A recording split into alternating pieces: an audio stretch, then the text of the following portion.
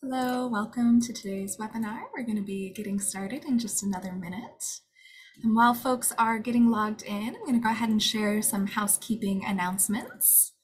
Um, you will be muted during today's presentation. If you'd like to ask a question, we ask you to please enter it into the online Q&A. Questions answered via this Q&A feature are going to be taking priority over those entered in the chat. Makes it a little easier for us to manage on our side and know which questions have been already addressed and answered. And we will be saving time at the end of the presentation to address as many questions as possible. This presentation is being recorded and will be made available on the Center for Occupational and Environmental Health and California Labor Lab YouTube page. And all participants who logged in for the webinar today with their full for the full live presentation with their registration email will receive a link tomorrow to the evaluation form. Once you complete that evaluation, that'll qualify you for a certificate of completion with one continuing education contact hour. And once you've submitted it, you'll be able to access and print your certificate. And at this time, I'm going to hand it over to our moderator for today, Dr. Ed Yelin. Thanks, Michelle, and welcome. I'll start by saying that we postponed this talk by a month because of the labor dispute on the UCF ZEF campus, the Berkeley campus, and throughout the system. And we're glad that the labor dispute has been resolved. And so here we are um, with our material again from Dr. Harris. So um, this is the last in a series of um, talks about um, the working conditions throughout what we call collar colors, pink, blue, white, no collar. And um, we're really appreciative of um, your feedback on the series, and we hope it served your needs. This is a standard disclaimer that we're part of the Total Worker Health Centers program and what we can't do as a result. Next, no disclosures other than we're thankful for NIOSH's support for our center. Um, the mission of our laboratory is to extend the pursuit in health and safety of, for workers in traditional employment to those in a wide range of alternative arrangements and partnerships with affected communities. We encourage you to come back a week from today when Professor Eileen Boris from University of California, Santa Barbara will talk. She's a professor of feminist studies there, endowed professorship um, on the home as a workplace. So very consistent follow-up to the talk today from um, Carisa Adams. Next, please next month, please come back when um, Dr. Glorian Sorensen from Harvard's Total Worker Health Center is going to um, give the first talk in um, a series devoted to um, how you make work healthy. Um, and they have a very sophisticated, good model of some of the determinants of healthy work, and we welcome her um, next month. So please join us again. So now it's my um, distinct pleasure to um, in, um, introduce Carisa, um, whom I've now worked for for years. Um, there's a cliche that when you want to get something done, you invite a busy person. And um, Carisa is, in fact, a busy person. She's a graduate of our training program at COEH in ergonomics. She now runs the ergonomics program out of the Richmond Field Station. She's the director of the COEH, the Northern California Center for Occupational Environmental Health. She's the director of COEH's ERC, Education Research Center, and she's the associate director of the California Labor Lab for Research. Other than that, she has nothing to do. And Thanks without so much, further ado, um, I introduce Carisa and um, thank her very much for giving this talk when she is so busy on um, home office ergonomics um, in the post-COVID era. Carisa? Thanks so much, Ed, for that introduction. And thank you so much for um, including me in the California Labor Lab. It is truly an honor to be a part of it. Okay, so uh, today I'm going to talk about home office ergonomics, uh, particularly in the post COVID 19 era.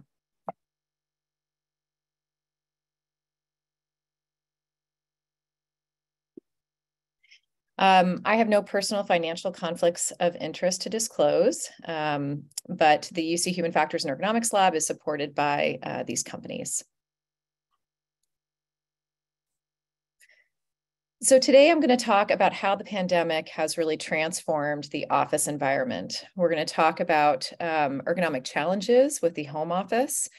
And um, I'll talk a little bit about how the work from home um, disparities were created by the pandemic and, and how we're handling that.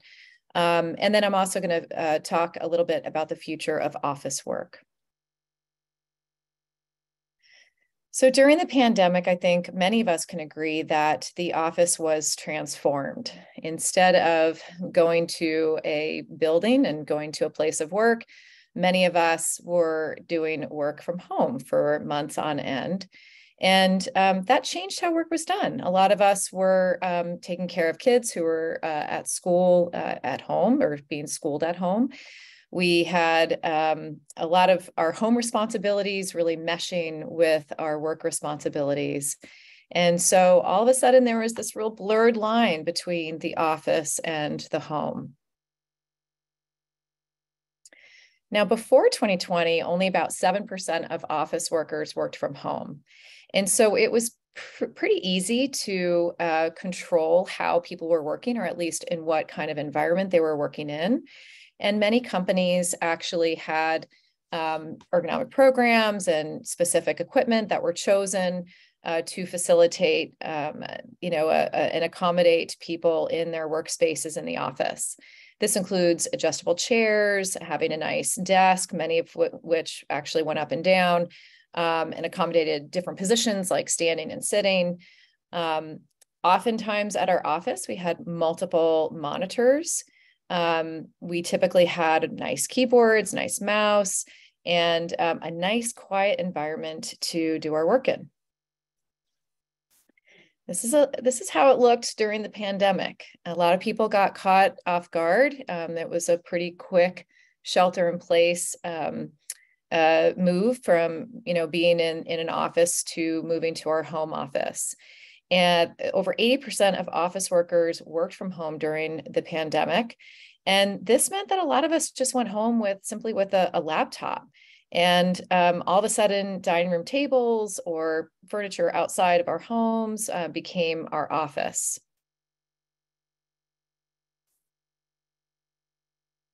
And so this had challenges. Um, a lot of people felt negative health effects. And so we're going to talk about some of the physical health effects, the psychosocial stress effects, the impact on productivity, and the impact of working from home on work life balance.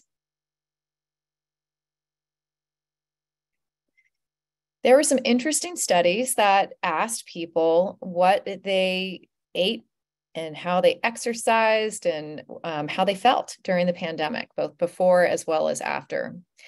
And there were some interesting findings. A lot of people uh, reported eating more and eating more regularly because the refrigerator was just right there. 70% reported consuming more food in general, and 40% consumed more junk food. And so we, saw an increase in weight for many individuals. Um, people experienced uh, increase in low back pain, and um, 40% had some sort of pain since working from home.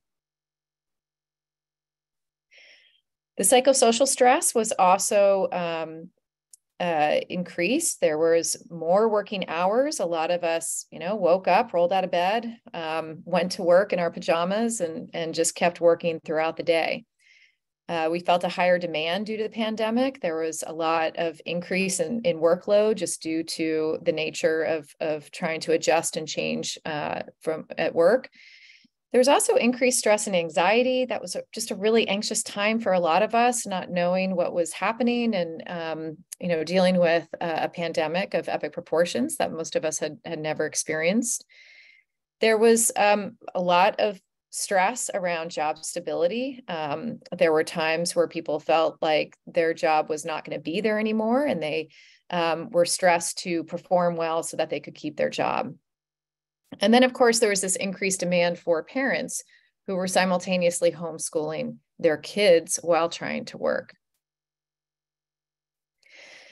From a productivity standpoint, um, it was mixed. Most reported feeling more relaxed, more efficient, and more productive. There was no longer the stress of getting kids to school or commuting to work. Uh, working hours did increase up to 48 minutes per day. A lot of times, um, people reported swapping their commute time for work time. Um, the negative piece was that there was no off time. Work became 24 7. And there was, again, this uh, blurring of the lines between working hours and uh, personal hours.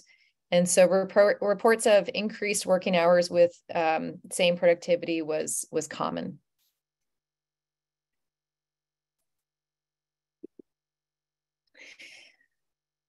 I think one thing that's interesting was to see the differences in perceived productivity, um, certainly by age.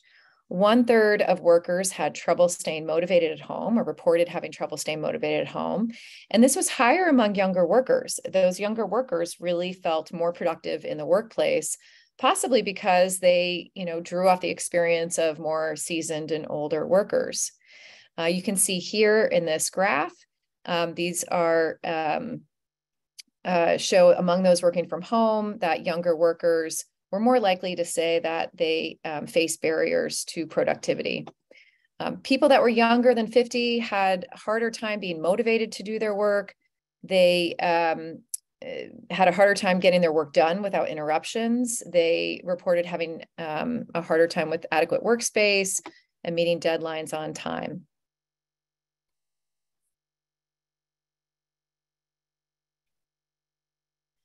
Working without interruptions was tough um, during the pandemic and while working at home. Um, this obviously was impacted by sex as well as by having um, a child at home that was under 18.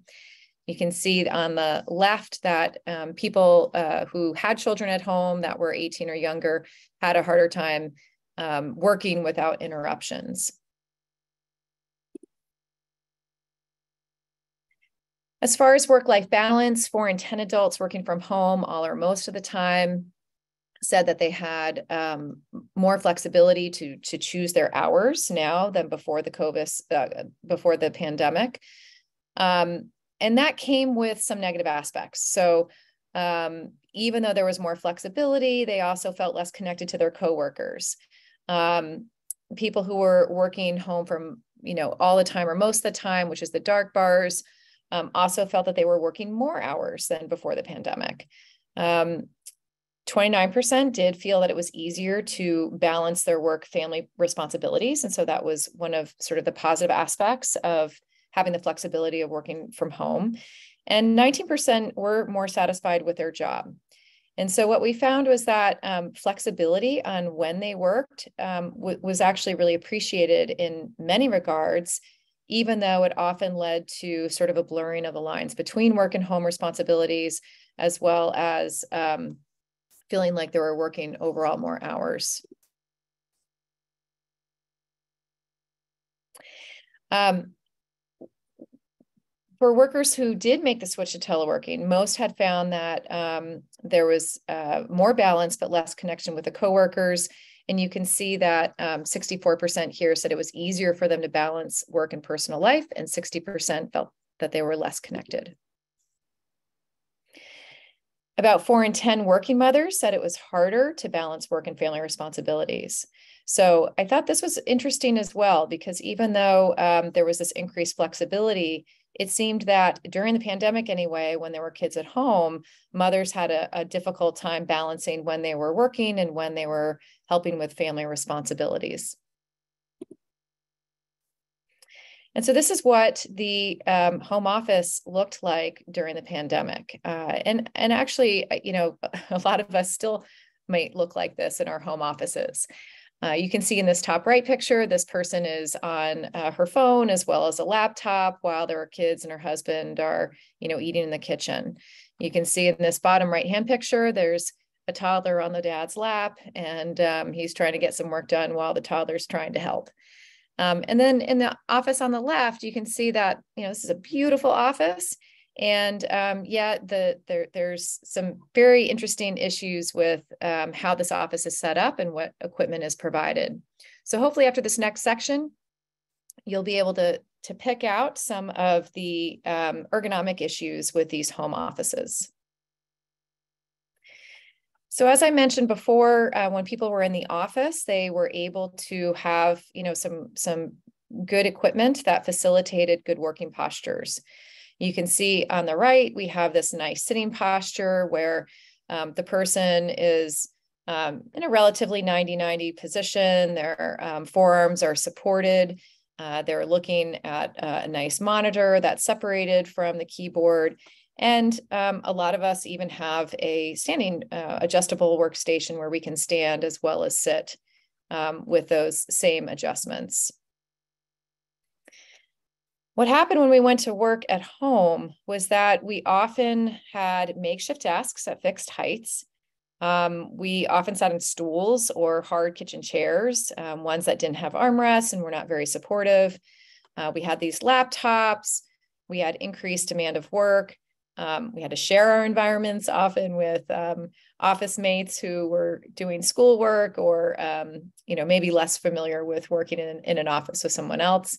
And um, again, a lot of responsibilities around home and, and uh, work life led to increased stress. There was a nice study that evaluated people's um, equipment from the home office, and 70%, um, you know, used a laptop. Um, external mice and keyboards were common, but a secondary monitor at home was not. And fixed height work surfaces and makeshift chairs were certainly the biggest problem. So let's talk about some basic ergonomic principles that we were discussing during the pandemic when people, you know, were really limited with um, having maybe a laptop. Maybe they were able to bring their keyboard and mouse home, but um, other than that, they really didn't have a lot of other equipment. Uh, the first was to optimize the position of the eyes and hands. So keeping the monitor at a separate height from the keyboard allows the arms to be in the right position as well as the neck. Um, we'll talk a little bit more about this, but keeping the hands approximately level with the elbows was um, is really quite important. To minimize disc pressure, you really want a chair that supports this lumbar lordosis. We hope people have found better chairs at home, um, but there's even simple things you can do with towel rolls and such to support that lumbar lordosis. Ideally, you have a backrest as well as an armrest, and I'll go over why that's important in a moment. And then um, finding ways to minimize static loading is really important. Reducing sustained forces on passive support structures like our vertebral vertebra are really important for keeping our backs healthy. And providing a backrest that allows for relaxation and support of the back is also healthy. Uh, and then reducing postural fixity. So allowing this dynamic loading of both vertebrae and muscles and facilitating uh, active and dynamic postures um, is an important aspect of sedentary work. And, and there's tricks that we can um, review to do that um, from the home environment. So let's talk a little bit why we want to optimize the location of our eyes and hands. Um, we know that there is a, um, a problem with using laptops because essentially either the monitor's in the right place and the hands are reaching up above from where they should be, or um, the arms are in the right place and then we are stooping down to um, look and, and view our monitor. So the ideal thing is to have a monitor that's higher than the keyboard and the mouse being used. And that can easily be done with an external keyboard and mouse and then just raising the laptop on a surface. So essentially, um, you know, if the keyboard height is above the elbow, we know that the neck will um, have some issues. And if the keyboard height is um, below the elbow, then um, we know that the wrist will have some issues. However, if the keyboard is right around the same height as the elbow, then um, that seems to be uh, the lowest risk of pain for both the neck, shoulder, and wrist and forearm.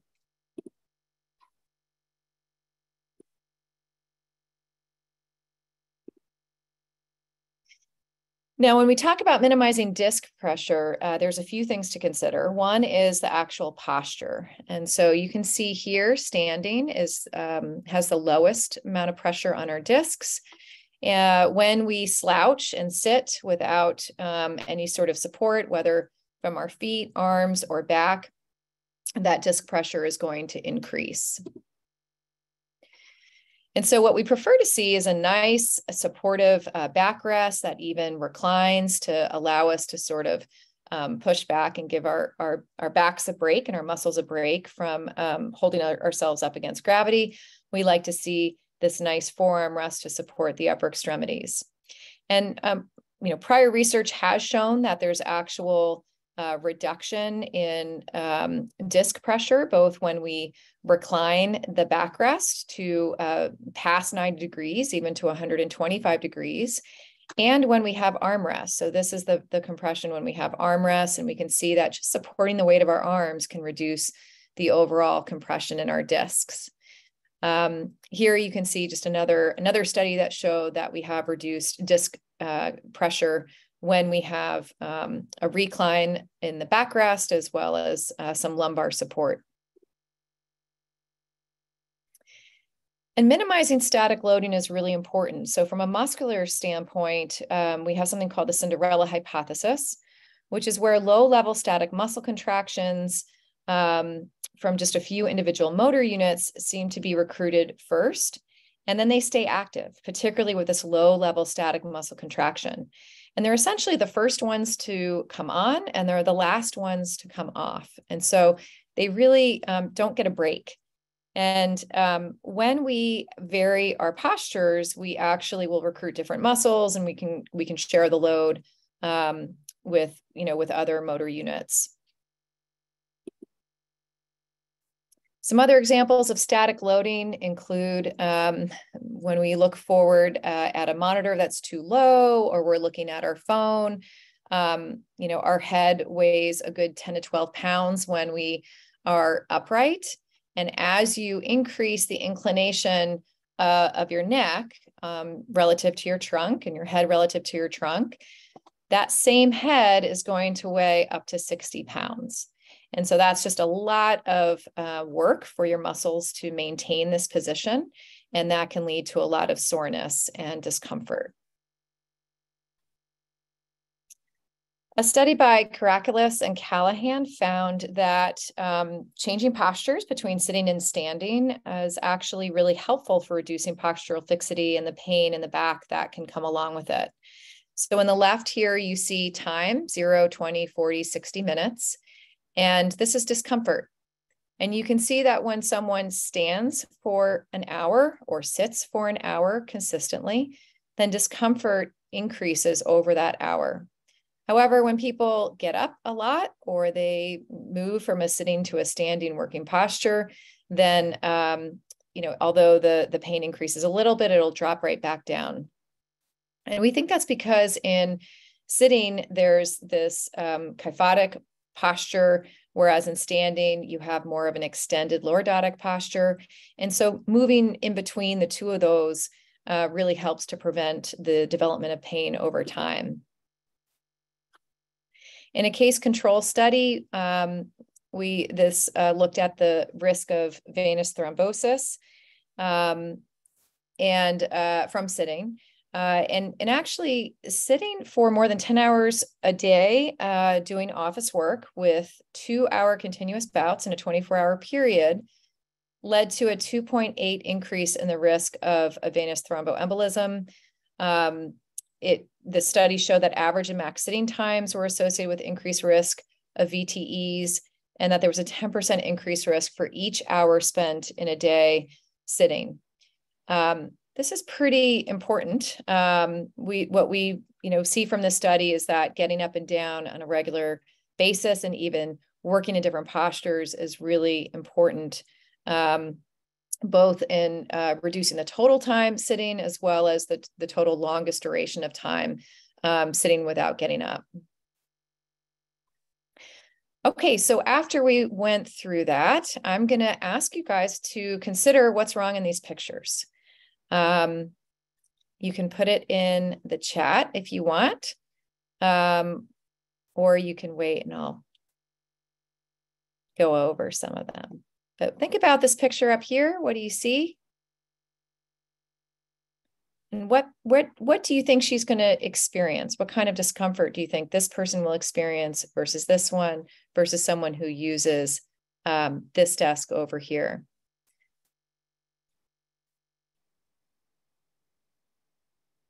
Good. I've seen a lot of really awesome responses in the chat. We see that um, in uh, this particular picture in the upper right hand corner, um, this woman is looking down because her monitor is on the desk. And so you're right, she has neck flexion, she has her phone here. And between looking at both of them, um, this person's likely going to have some neck discomfort. Um, in this picture in the bottom right, down here, a lot of distractions. They're cute distractions at that, but they are distractions. And um, just the, the idea of trying to get your work done while your child's trying to help you get your work done um, can be pretty stressful. This person at least has multiple monitors, but the interesting thing is that he has one monitor way over here and the other monitor way over there. And in reality, there should really be one primary monitor directly in front of the user. Um, and then if there is a secondary monitor just to kind of store documents that are not being used immediately, then you know that's fine for that to be off to the side. But certainly this one should be uh, more in the middle. Uh, it's hard to see, but it's expected that the light, the window is probably right in front of the user. And that's also uh, an issue because it can create glare and, and create headaches. In this picture in the bottom left, I absolutely um, agree with some people that uh, chimed in on the chat that these chairs um, have no arm support. The desk is fixed. And so although it might be the right um, height for someone, it's unlikely to be the right height for many people.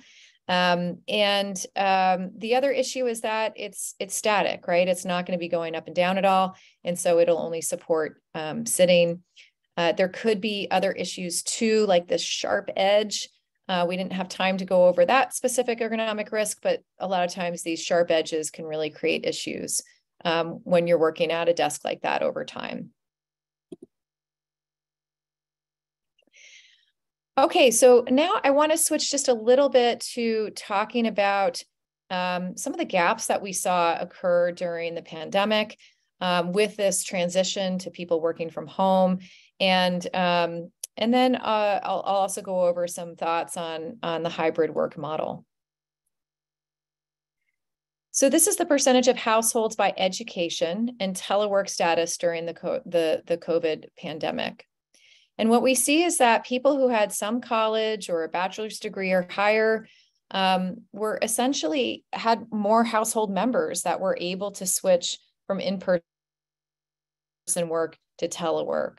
And we see people that had less than a high school degree or a high school or GED degree, they really were not able to change to telework. And this had a lot of um, important consequences. Number one, these people from lower socioeconomic uh, households were more likely to get the, the COVID um, disease based on the fact that they were out at work.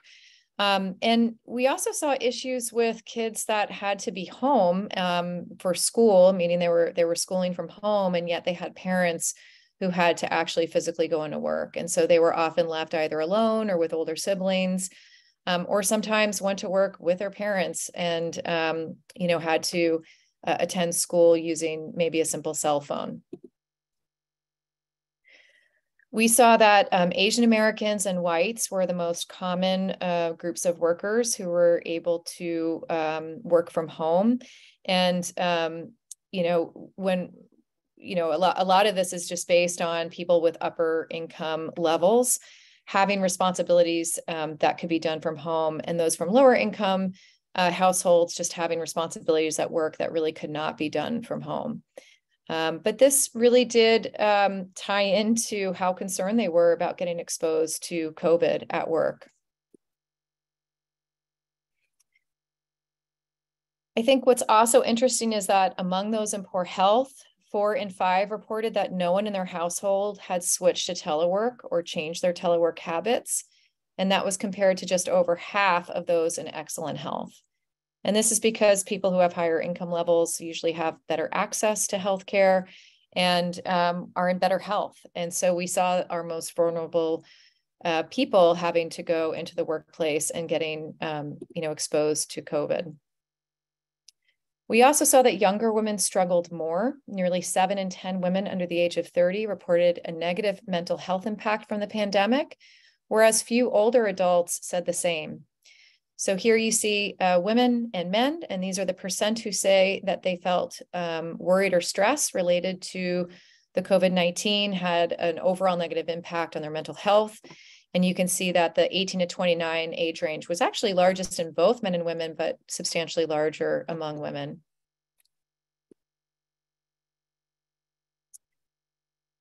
I think what was also interesting was just the number of women who fell out of the workforce. And most of this had to uh, do with um, childcare issues and just not having a place for children to go, for being responsible for their schooling at home.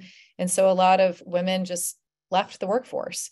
Um, the during the pandemic, and this is just about six months ago, were these numbers. The ratio of women working had fallen below 57% for the first time since 1988. Um, and I think this is interesting because even though it's it's come back, meaning more women have returned since schools have been, you know, in session consistently, an employment gap of just one year can lead to a 39% decrease in annual earnings um, you know that that just increases over time. And so what we see is that even though this discrepancy might have been greatest just during the pandemic when kids were uh, at home and being schooled from home um, this is going to have impacts for years to come. And this really just is contributed to the the widening gender gap where men are being paid for more than women at every educational level. So regardless of whether they have less than a high school degree or an advanced degree for the same work, um, men typically get paid more, and that's only going to expand uh, given women's sort of gap during um, the COVID nineteen pandemic, um, where you know a lot of them took a break to to be at home with their with their kids. This is called the mom penalty versus the dad premium. I think what's also interesting is that those that were still in the workforce, meaning they were home taking care of kids and they were also working from home, they also fell behind their male peers. Uh, if you take academia, for example, there were fewer publications and um, uh, fewer new projects, meaning new grants, et cetera, that were initiated by women um, versus their male counterparts uh, specifically because they were taking on uh, more of the responsibilities of uh, young families at home. Okay, so now that we are still living with the, the with COVID-19, but are no longer in this pandemic stage and now um, in the endemic stage, what now? Well, six in 10 workers say their job can primarily be done from home, and they want to do at least some of that work from home. Um, among those, 59% are working from home all or most of the time. These numbers have shifted a bit, but um, and they they tend to shift based on a lot of different factors. Uh, but the primary take home message is that the future of work continues to be from home. It doesn't mean that people are working from home all of the time, but there is an expectation now that um, if work can be done from home, that there will be some flexibility to be able to do that. These are different sectors manufacturing, construction, um, other private sector services, and then knowledge intensive services. And you can see that um, really across the board, even from manufacturing to construction to obviously knowledge uh, services, there was an increase in um, the the you know number of of people who felt like you know work could be done from home. So before the pandemic, these purple bars represent the percentages of of people that you know envision that work could be done from home. And then um, the blue is during the pandemic and the green is after the pandemic. And you can see that there's really not much of a difference in in these private sectors and knowledge intensive services as far as um, people believing that work can be done from home. So um, what do we think? What are, um, you know, what, how many people want to work from home? What percentages are working from home and why? Well, among employed adults whose workplace is currently, um, well, it, it, was open during the pandemic, this was in January 2022. This is the percent saying that each is a major reason why they were working from home most or all the time. So some just preferred it. You can see that it, um, in January 2022, 76% just preferred it. Um, 42% were still worried about being exposed to uh, COVID 19. 32% cited childcare responsibilities, and 17% actually had relocated during the pandemic away from their workplace and just continued to work um, away uh, from, from the home. So there's pros and cons from working from home. Um, working from home is really valuable, but it's not infallible. The pros are the time flexibility. There's we saw a huge reduction of air pollution, and um, you know when people were not commuting as much, there was certainly a reduction of commute stress and more autonomy. The cons include excessive working hours, increased mental load, um, you know, of of really um, you know, having that blurring between um, work and home time, having less mentorship, feeling isolated, having uh, invasion of family space by work, and being perceived as working less hard in the workplace. Still, um, remote work overall was considered to be a huge success, and it's certainly here to stay. Uh, when asked, 87% of executives think that three days in person is important for company culture. And yet, when asked, the majority of employees prefer to work remotely from home three days per week. So, what we see right now is that there is a little bit of a difference in what uh, employers would like uh, as far as their, their people working from home versus um, working uh, in the office, and what workers would like. And I think there's still a lot of different models that are being trialed. Um, these are some different hybrid work models that are currently being explored. So they vary based on the work environment, whether um, you know you, you vary uh, the hybrid model based on scheduling or division of employees.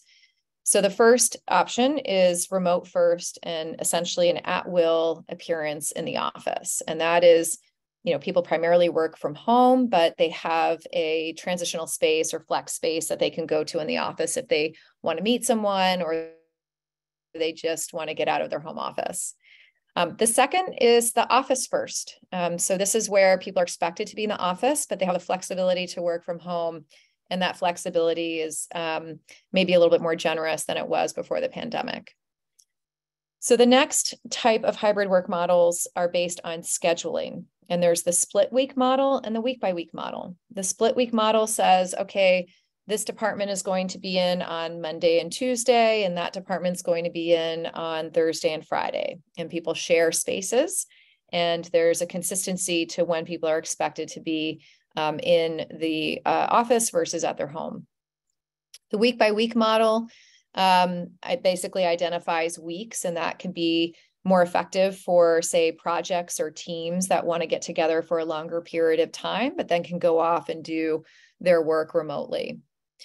And then um, there's certainly um, hybrid models that are just based on division of employees. So there's remote teams and there's on-site teams. This can be problematic because there can appear to be an inequity of, um, you know, certain um, uh, benefits being provided to say the remote team um, or you know certain benefits being provided to the on-site team. Um, but that this can be uh, another option and is being trialed as well. So overall how do we transition to optimize health um, both at work and at home well um, there is a saying in ergonomics your best posture is your next posture and so, um, what we're seeing is this discussion between employers and employees on not only sort of what their schedule can be, but um, who's going to be responsible for purchasing equipment, say at the home office, to provide the same um, adjustability and flexibility in um, working postures that is available um, in in someone's physical office. And so, um, you know, we hope that whether someone is uh, at home or in an office building, they have sit stand options. Uh, we hope that they have a chair with supportive um, backrest and armrest and a tilt, specifically a, re- a recline option. And then um, we do hope that they have an external keyboard mouse, an extra monitor, particularly for laptop users. And there's really some very good online training um, and remote ergonomic um, evaluations. We're actually uh, a thing during the pandemic, and I believe they've continued. Um, ergonomic evaluations used to be done in person before the pandemic, largely. And now what we see are some really successful, um, you know, online modules that can take people through their own ergonomic evaluations. And um, it can even trigger a sort of one-on-one ergonomic evaluation, but with someone who is actually uh, remote and zooming in to, to look at the person's workstation. So why do we want people to move?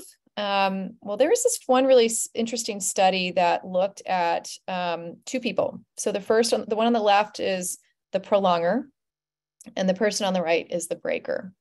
And so the the study on the left, um, or the person on the left, had you know had the prolonger had these large bouts of sitting time, and then these large bouts of non-sedentary time. Whereas the breaker, um, you can see that the amount of sedentary and non-sedentary time was uh, you know broken up more throughout the day. And what we saw was that there was a dose response relationship between the number of breaks and things like waist circumference, BMI, triglycerides, and two hour plasma glucose in a fully adjusted model. And so the prolongers had higher waist circumference, higher BMIs, um, you know, uh, worse triglyceride profile uh, versus the breakers. And so we like to see people moving throughout the day.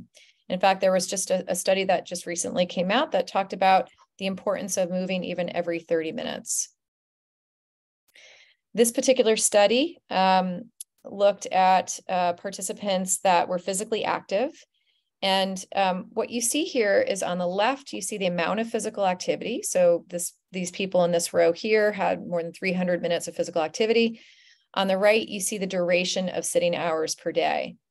And so what we see is that although exercise is um, very positive for um, reducing sort of deaths per 100 person years and, and increasing people's overall general health, um, we still see that increased sitting time increases risk, even among those who are very physically active. So, what this means is that we need to get up more and we need to make it more normal, whether we're working um, in an office or whether we're working from home, to get up more and to work in um, different postures, whether it's uh, standing or preferably walking. Um, if you're in person, try some walk and talk meetings, some walking breaks. Um, you can have standing meetings. Um, try to use a trigger, like every time you do your email, maybe try to stand up while, reading and responding to emails.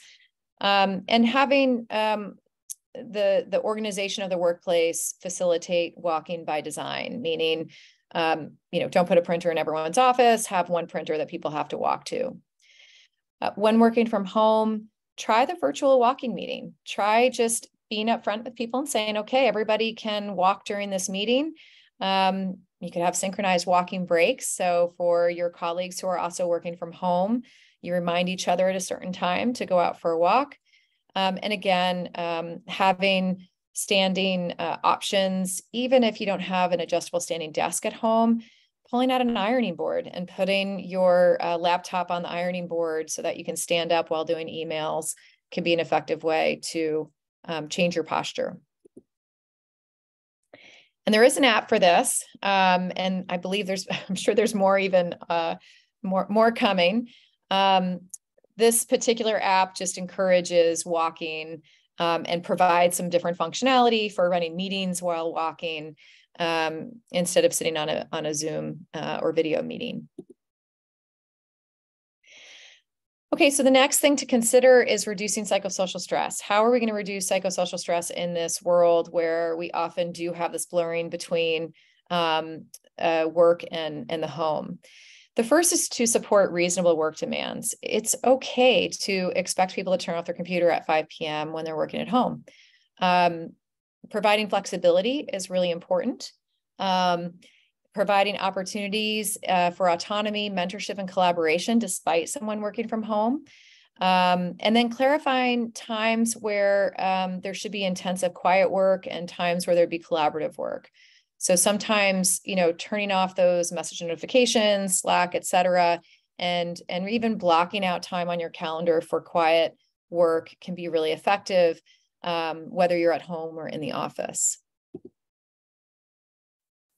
So I'm not sure if you remember some of these. Part of those scandals.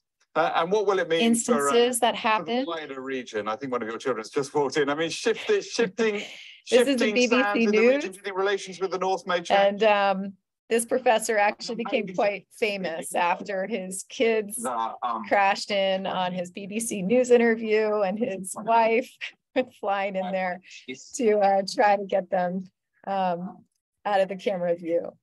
And I think what I loved about this video was that it just normalized work-life balance. This is a weather reporter who waiting for that storm to. um, was California. giving her news report from home.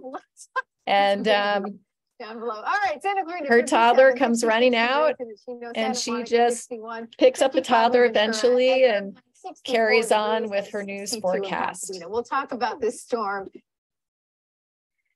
So again, what I what I really liked about these examples and what I think was a, a sort of silver lining of the pandemic was that it really did up, um, normalize the fact that people had a life outside of work. And um, if we're being asked to um, integrate work into the home, that's going to come with um, you know some interruptions from home. And so this normalization of work-life balance and having you know some grace and, and understanding around that i think was a really positive aspect well, today's to, to the pandemic. Um, but this can be done really explicitly. So having employers explicitly address support and parent um, caregivers uh, is is really important. Um, you know, during the pandemic, people worked longer hours. Uh, there was a lot of parenting needs and parenting struggles. And I think that as we're now out and kids are back in school, um, we should remember that there still are going to be challenges in integrating family and and uh, you know this work life balance. And the more that we support parents um, with young children, uh, the you know the bet the more effective we're going to be at keeping them in the workplace. So there are opportunities for employers to support uh, childcare challenges. Um, this is like providing work from home options without stigmatization, meaning uh, in the past, it was often looked down upon, frowned upon, that someone would have these um, home or childcare related uh, responsibilities or maybe elderly care responsibilities. And that was sort of assumed that that person wasn't working as hard. So being able to provide this flexibility without sort of stigmatization is, is really important. Allowing for flexibility around childcare responsibilities is really important. And encouraging the sharing of struggles just humanizes that work parenting balance. And I think what we're seeing is that if you're not on board, you're not going to be able to hire the people that you need. And so there's this interesting, you know, shortage of workers. And um, since Nearly 32% of US employees say they never want to return to the office. Having at least some flexibility and some strategies to get them into the office sometimes is really important. Um, 88% say they'd like to continue working from home at least part of the time. 32% said they never want to go back. So, how can we design the work both at home uh, and in the office in a way that people maybe do want to come back at least part of the time or, or um, even half the time? And I think what that takes is um, some some good communication and collaboration, and it's going to be specific to the needs of the company and the needs of you know whatever the work that's getting done has, as well as the needs of the individual worker, um, whether or not they are taking care of uh, elderly parents or young children, um, and as well as as the the environment that the person has. Some people have an environment that they can work from home in quite well. Others, you know, really feel like they concentrate better at work and they need an office you know five days a week to get their work done. So i, think having that one-on-one conversation with with employees and providing that um, flexibility given their life stage and, and individual um, uh, requirements is really important. So to conclude um, we see that supportive and creative implementation of work from home will be beneficial to both the employee and the employer uh, I think that um, we're still working out what kind of um, jobs, what kind of projects uh, require the the right kind of hybrid model. Um, but there's a, a lot of uh, experimentation that's being done, and I think um, you know the the lines of communication really have to be open between teams and between employees and employers to find the right mix that works for both the company as well as the employee. Technology providing hybrid collaboration and communication is key. That can be everything from you know having Zoom uh, options to Slack or something where you you know facilitate messaging regardless of whether someone's in the office or or um, at home. But it can also include uh, some technology that facilitates health and and ergonomics regardless of whether someone's at their home or or um, in the office.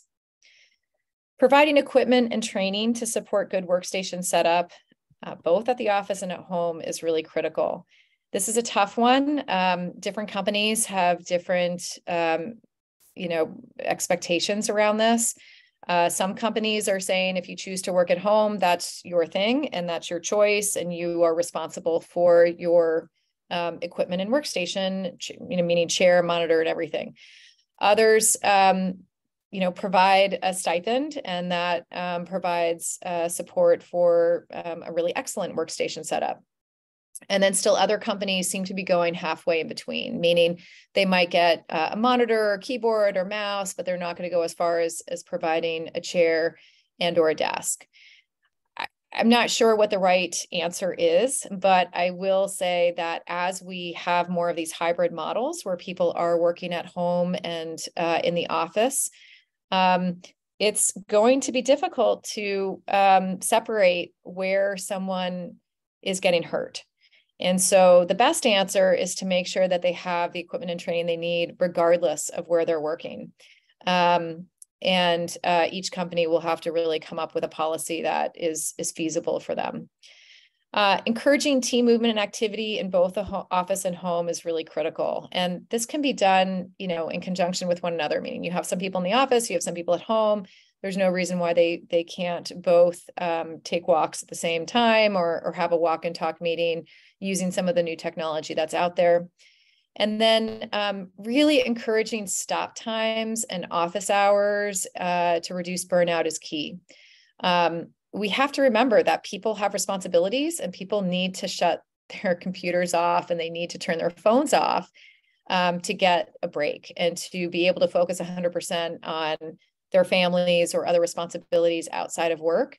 And so, um, you know, try to set up some parameters and some guidelines as to when uh, meetings can be requested and when they can't be. There's some companies that are going to a four day work week with actually some pretty good success. There's other companies who um, are just at least saying, okay, Fridays, we're not going to have any scheduled meetings. And so that's people's sort of quiet time to get work done.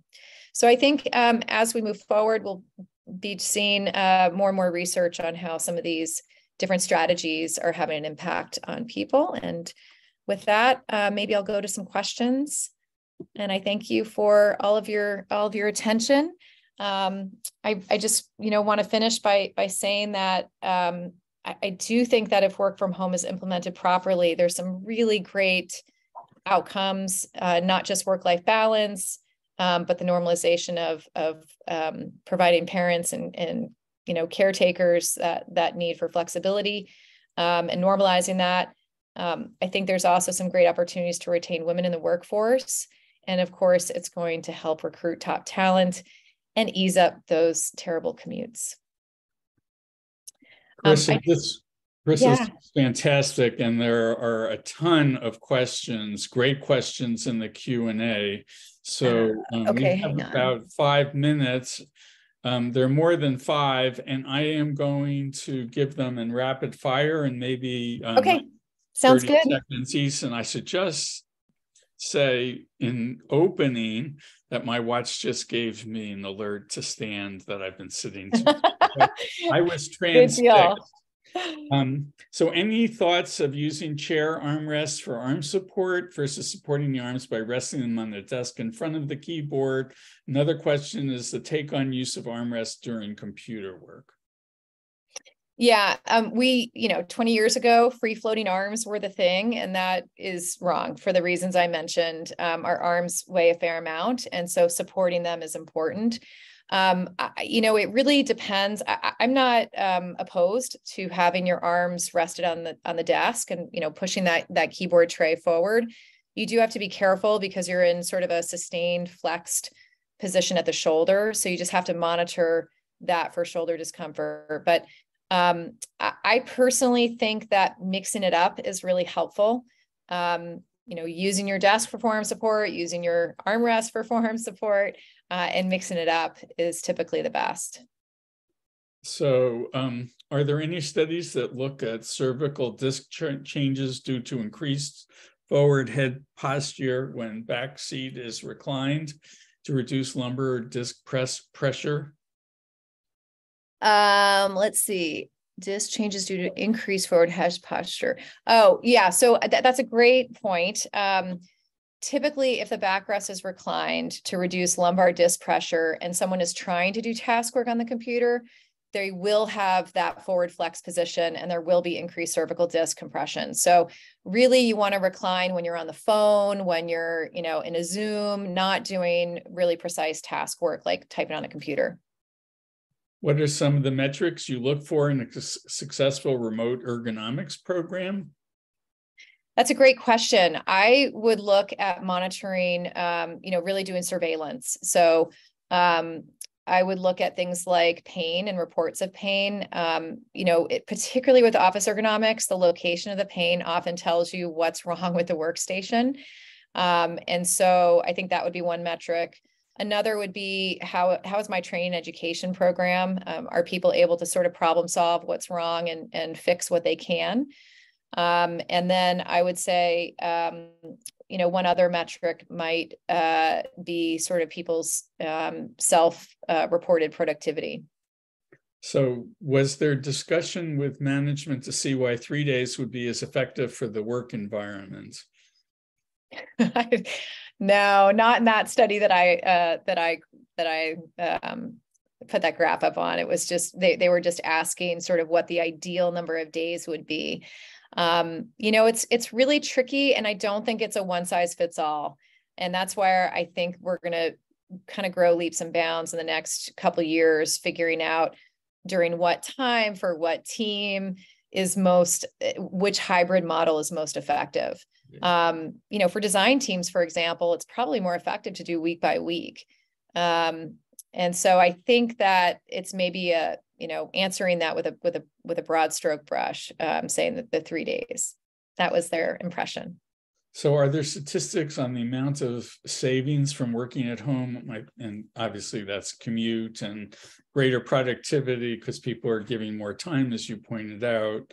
And a related question Are there worker comp stats on work from home musculoskeletal conditions versus work from the office? I do not have numbers on that, but I would imagine that some of those, um, you know, should be coming out at, at, as we have a more permanent um, transition to the home office. So, um, a question with all the work done in the area that home ergonomics, two areas of concern is the liability for companies as they have not provided a healthy workplace whether that is not giving anything but a laptop or having too many back-to-back Zoom meetings with not enough breaks. How can we get employers to get better work practices to address these issues? Um, I, uh, you know, I've been shocked that this hasn't come up sooner. Um, meaning, um, I would have thought there would have been some liability or lawsuit at this point with where a company you know was not providing equipment at a home office and someone you know was injured. I have not i've been asking. I haven't heard of any numbers or statistics around that at this point. Um, but i do think that kermit's right. I mean we we really do need to come up with some some good rules of thumb or best practices for employers to support um, a more healthy work from home environment. And frankly, just you know the, the the back-to-back zoom meetings is really tough and that can be solved by saying you know what? Everyone needs to have 45 minute meetings. And so there's always 15 minutes uh, of each hour where someone can stand up you know have a bio break have a mind break etc so i think it does take a cultural shift and that's something that has to be discussed and explored within a company um, so that there's you know buy-in from all the different stakeholders um, but I do think it's there's some work organizational best practices that can help with that. So one more quick question. How often should we change the sitting and standing position or how long should we stay in each one? Uh, that that's a great question. Um, I believe um, our, our friends from Ohio State uh, just published a study, and I, that was what I was alluding to. Um, Gary uh, found that I, I believe he found that every 30 minutes is the right amount of time to um, you know to stand up and move. So even even every 60 minutes, uh, I, I think is too long to stay seated. It's tough to remember to move that much.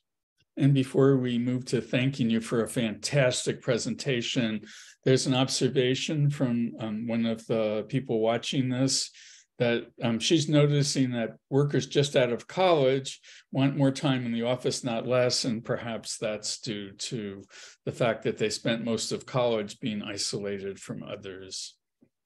So, yeah, I, I agree. And also that mentorship piece is, is key. So, um, yeah, that's something to to be aware of for our our younger colleagues. Right, and for those of us with a little gray hair, it's something we should um, notice for the younger workers who need mentorship. Um, Chris, this was a fantastic presentation. The participation was really amazing in the audience. I think close to 100 total chats and 15 or 16 questions and over 200 people joined the webinar. So thank you very much. So great. Well, thank you so much for having me and thank you everyone for joining. And we will see you next week for a talk from a feminist historian, Eileen Boris. Thank you. Goodbye.